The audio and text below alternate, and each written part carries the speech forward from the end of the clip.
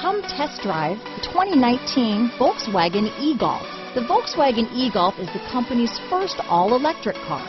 It maintains the spirited driving experience of internal combustion versions of the Golf. The e-Golf is the best handling electric car in its class. Here are some of this vehicle's great options.